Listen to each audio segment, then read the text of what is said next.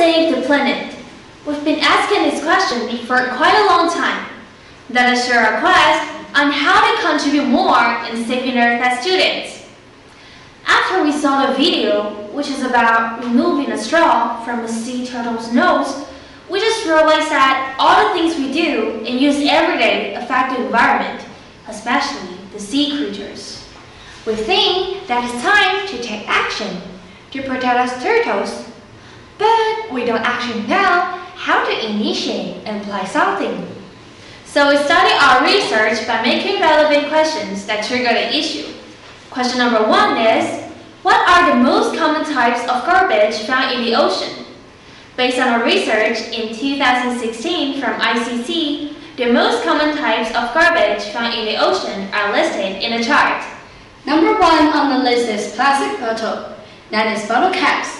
And the third one is plastic straws, which is up to 22,000 pieces. And question number two is, which kind of environmental activities are high school students willing to do? According to the survey we did, we can clearly see that among those activities, doing coastal cleanup is what the students want to do the most. In that case, we, as students, found a way on how to contribute to the environment by doing coastal cleanup. And question number three is, which is the most motivated group to initiate the eco-friendly movement? Upon conducting our spur survey, 76% of the respondents agree that students are the most motivated group.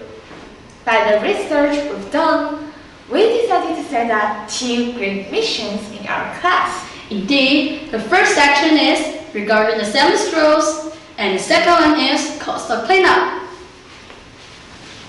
Have you ever seen a movement, skip the straw to save turtles? Yeah, but I would like to know more about it. The news in TVBS has reported that 23 million of Taiwanese alone use an estimated 3 billion straws per year. Wow, that's way too high. Indeed. Then we better do something about this issue. Yes, and the good news is we found something that can replace the plastic straws. That is, straw. The benefits of a straws are it can be friendly to earth, reusable, it can last for ages. Then we started a campaign in our class. Now we're using 40 stainless straws only in our classroom.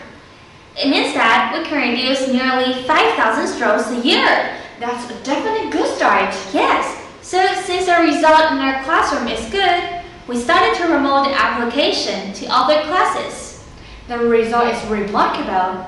In just two weeks, we have been 10 classes to push the idea of a stainless straw. To further estimate it, if a person uses 15 straws a month, then 330 students together eliminate nearly 3,500 straws a month. And it means that we can reduce nearly 40,000 straws a year. Yeah, but you know, at first, it wasn't easy for us. We have to adjust carrying the straw all the time and wash them after using it. Then, we gradually get used to drinking with a stainless straw. So, little change can make a big difference in the long run. Let's tackle the second action we did, coastal cleanup. Thanks to our advisory teacher who offered to accompany us to the beach. Yes, we decided to go to Sadr Bay out of many polluted beaches in our vicinity. Sadr Bay, an hour drive from Taipei City, used to be the most popular spot for surfing in northern Taiwan. But now, it has changed to a place filled with garbage. On January 23, 2018, we arrived at the beach and started our cleaning program. We were very excited at first, but when we saw the huge amount of garbage at the beach, we were shocked and realized that it's more serious than we saw on the internet. Much to our surprise, the plastic straw was scattered here and there around the beach. We collected a total of 81 kilo garbage for just an hour. And all of us feel accomplished after doing such a good things to Earth. There's a saying, an action is worth a thousand words. I totally agree. After the school still cleanup activity, we interview our classmates about their feelings. They found that there were so many plastic items and couldn't believe those are the common things they use in daily life. From this activity, we've learned that without inner awareness, we never know how many trash we made and how seriously animals suffer and yet still suffering. At this moment, the project is still ongoing. We plan to promote the stainless straw to other schools. Also, coastal cleanup activity is going to be held by our school authority. In fact, it is essential for students to get involved in the eco-friendly movement. We only have one home, and that is Earth.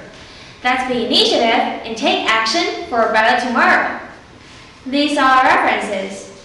We will thank you for your attention. Have a great eco-friendly day to all!